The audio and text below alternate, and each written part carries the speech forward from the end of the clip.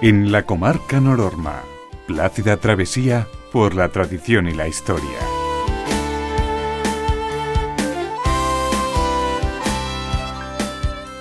La iglesia de San Juan Bautista. Nobles viviendas con llamativas balconadas en la calle Real. Ventanas enrejadas y puertas de madera con ricos detalles.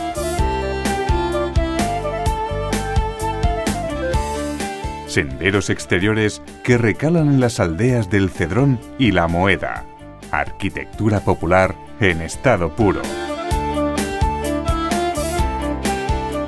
Impresionante panorámica del límite de Málaga, Granada, Córdoba y Sevilla.